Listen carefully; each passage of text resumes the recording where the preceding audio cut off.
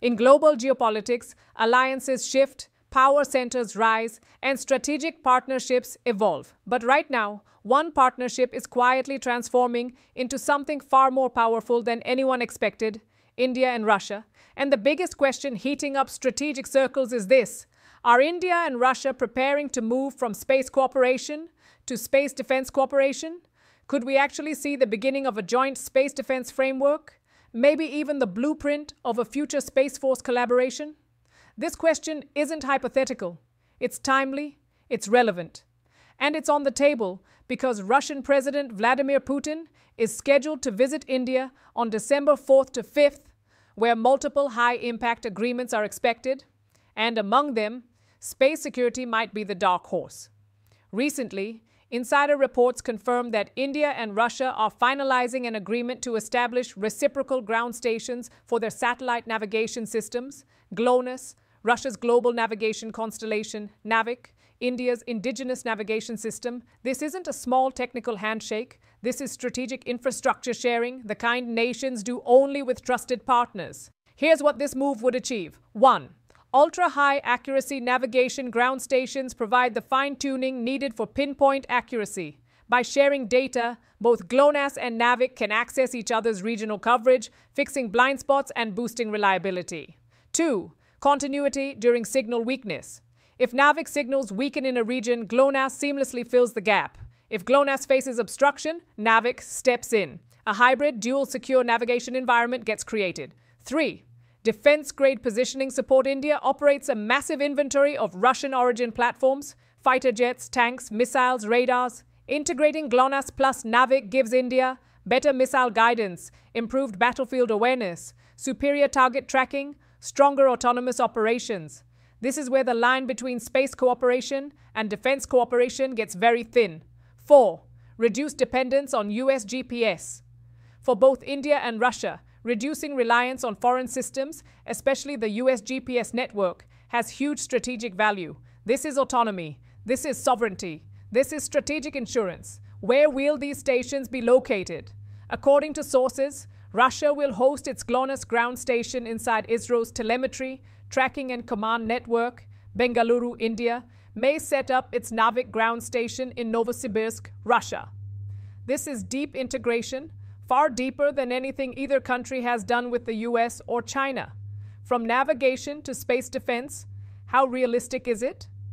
If we connect the dots, a very clear picture emerges. India and Russia aren't just collaborating in space, they're synchronizing capabilities in satellite navigation, missile tracking, space based surveillance, cryogenic engines, crew training for Gaganyaan, India's human spaceflight mission, joint deep space technologies. Russia trained India's astronauts.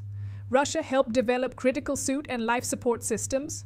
Russia is offering joint ventures in missiles like BrahMos NG and even hypersonic technologies like Kinzhal. This isn't a supplier buyer relationship anymore. This is a strategic co creation partnership. And with the US developing Space Force, China building space warfare units, and NATO holding space war games, India and Russia see the strategic writing on the wall. Space is the next battlefield. Whoever controls orbit controls the outcome. So, yes, a space defense roadmap between India and Russia is absolutely realistic.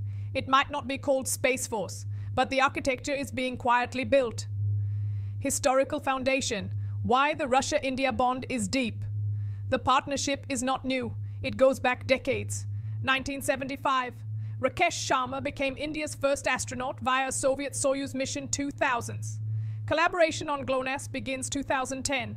The world famous BrahMos missile joint venture, 60 to 70% of India's military arsenal has historically been Russian origin. Bilateral trade already surpassed 65 plus billion and is pushing toward 100 billion dollars.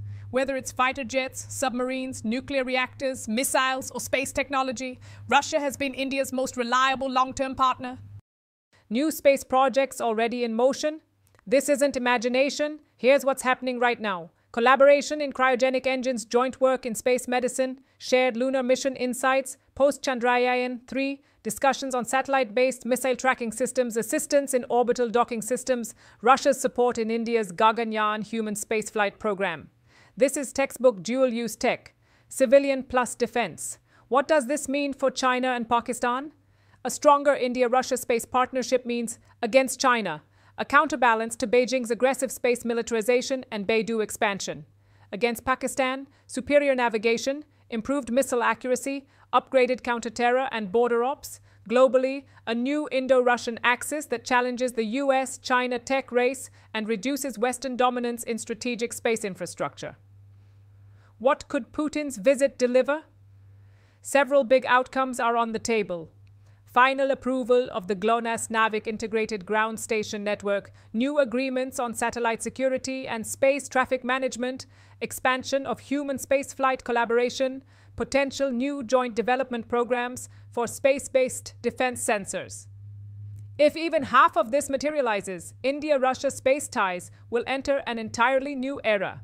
Conclusion A new orbit of partnership. India and Russia are not just looking at cooperation, they're looking at strategic synchronization. Space is no longer just science. Space is security, surveillance, strategy, sovereignty.